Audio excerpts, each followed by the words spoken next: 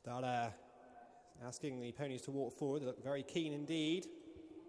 They're off away in racing for the 2022 Pony Racing Finals, currently sponsored by Dragon TV and Film Studios. And the early leader is Vino Star and Freddie Fletcher. Zendaya moves into second position early on with Little Anne coming into second position now. So it is Vino Star by half a length to Little Anne in second place. And then in third is Zendaya and Bruce Vaughan, beginning to have his ninth win of the season. To the outside is the pink colours Little Galway Girl. On the inside of those is Wee Anthony with the white cap. And behind these then comes Stretch Out Carousel and Warren Fenton. That's the leading seven ponies as they come down the hill now, leaving the first three furlongs behind and with half a mile left to run. At the rear of the field is Labeland's Captain Scarlet in eighth position, and behind those is Hamish McGregor and Churchill in ninth. Inside the final three furlongs, it is Little Galway Girl in the pink, the white cap of Little Anne on the inside.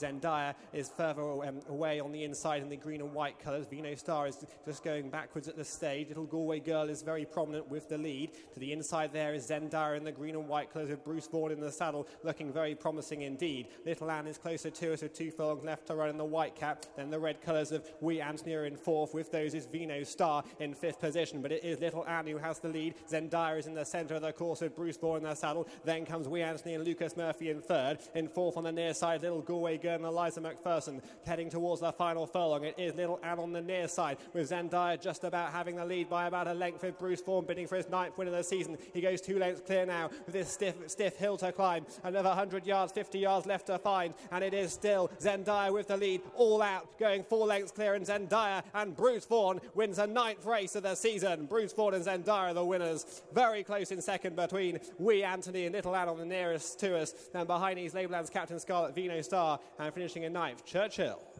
First, number one, Zendaya, and a photo finish for second place. First, number one, and a photo finish for second place.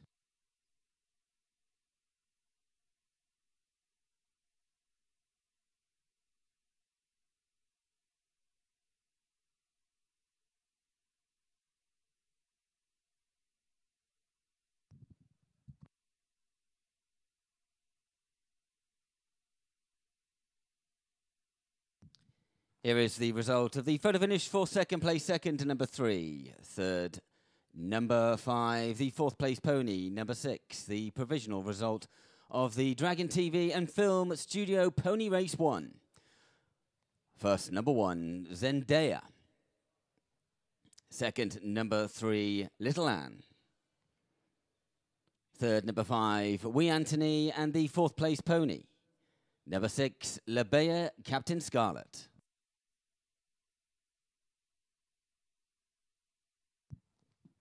And the distances were four and a quarter lengths and a nose. Four and a quarter lengths and a nose.